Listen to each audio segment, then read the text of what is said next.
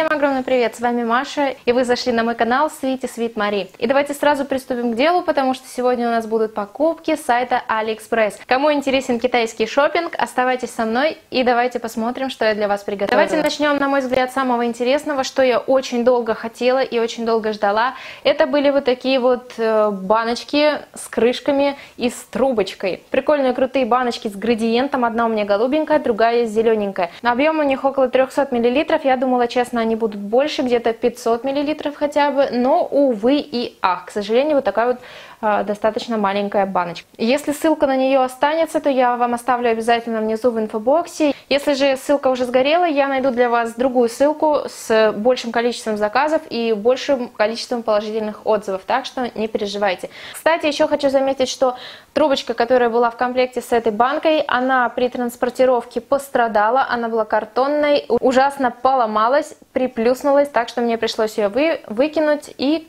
к счастью моему, продавец вернул часть денег. Так что теперь я использую обычные пластиковые одноразовые трубочки. И это тоже неплохо. Теперь давайте перейдем к более бьюти тематики. Я заказала вот такое вот прикольное крутое зеркало в форме макбука.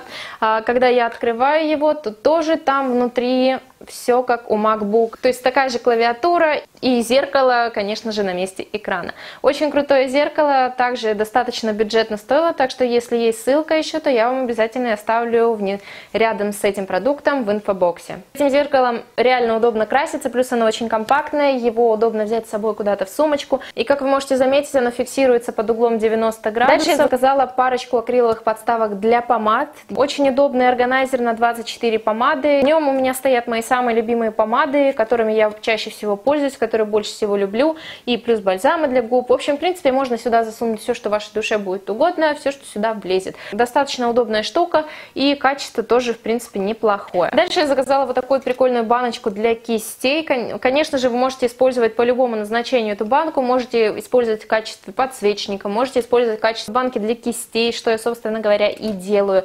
Очень прикольная, очень удобная штука, очень симпатично смотрится, красивый такой резной рисуночек. Как вы можете увидеть, здесь банка вот такая вот кривая маленько. Она мне пришла помятая. Это, конечно, не очень хорошо, но меня это не парит, потому что же сразу, когда я заказывала эту банку, я знала, что в ней я буду хранить свои кисточки. Поэтому для меня это не была проблемой, но с эстетической точки зрения не очень красиво, не очень э, приятно все-таки. Вот. Также продавец часть денег вернул, так что это была не проблема. Это были все мои недавние китайские покупки. Если вам было интересно это видео и вы ждете новые покупки, покупки из Китая, то ставьте пальчик вверх. Подписывайтесь на мой канал, а также подписывайтесь на мой второй влоговый канал Мария Life Vlog. И не забудьте зайти на мою страничку в Инстаграм и вступить в мою группу ВКонтакте. С вами была Маша, всех очень люблю и целую, до встречи в новых видео. Пока-пока!